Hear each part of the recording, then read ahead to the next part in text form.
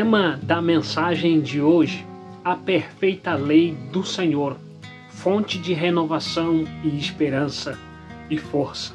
O salmista diz: A lei do Senhor é perfeita e nos dá novas forças. Os seus conselhos merecem confiança e dão sabedoria às pessoas simples. Salmo 19, versículo 7. Olá, saudações em nome de Jesus Cristo. Para quem não me conhece, eu sou o Evangelista Israel e o meu objetivo é conectar você com a mensagem de sabedoria divina. Seja bem-vindo ao nosso canal de mensagens bíblicas. Amados navegadores desta plataforma, à medida que olhamos para as soluções governamentais que supostamente servem para melhorar as nossas vidas, vemos que elas não funcionam realmente. Isso porque muda o ambiente onde as pessoas vivem, não muda o seu coração.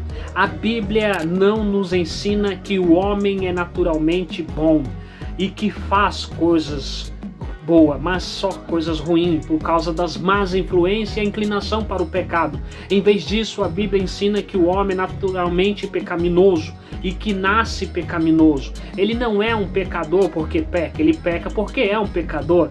O pecado está entronizado em nós. A Bíblia nos diz isso e também nós diz que os seres humanos são capazes de fazer coisas muito piores que nossos queixos caem. Aqueles que acreditam que podemos transformar a Terra numa utopia através de soluções feitas por homens devem estar muito decepcionados agora, porque apesar de todos os nossos avanços na, na tecnologia, ainda não conseguimos mudar o coração humano. Mas, no entanto, o Salmo 19, versículo 7 nos diz que a lei do Senhor é perfeita e revigora a alma. Os testemunhos do Senhor são dignos de confiança e tornam sábios os inexperientes. A palavra de Deus nos dá uma sabedoria incrível. Aqui no canal nós nos conectamos com a palavra de Deus. Alguns anos atrás alguém me perguntou: o que fazer quando a gente se depara com um versículo da Bíblia com o qual não, não nos concord, não concordamos? Eu respondi: mude a sua opinião, porque você é que está errado e não a Bíblia. Acho que esse cara não gostou muito da minha resposta, mas como Romanos capítulo 9, versículo 20 diz: Mas quem é você, ó homem, para questionar a Deus? Acaso aquilo que é formado pode dizer o que formou? Por que me fizeste assim?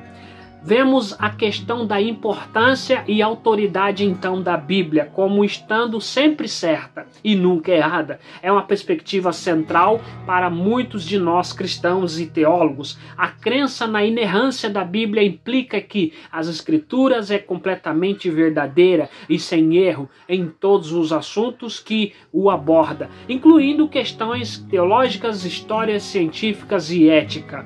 A ideia da inerância bíblica é fundamentada na visão de que a Bíblia é a revelação infalível do Deus Todo-Poderoso para nós humanos. Isso significa que, segundo essa perspectiva, Deus inspirou os autores bíblicos de forma a garantir que os escritos sagrados sejam confiados e verdadeiros em todas as áreas que trata.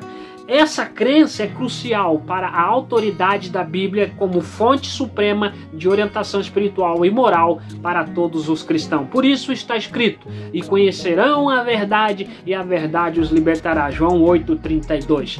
Vou te passar agora algumas passagens bíblicas que a Bíblia é a palavra de Deus, sem dúvida, e que os cristãos consideram fundamentais para a compreensão espiritual.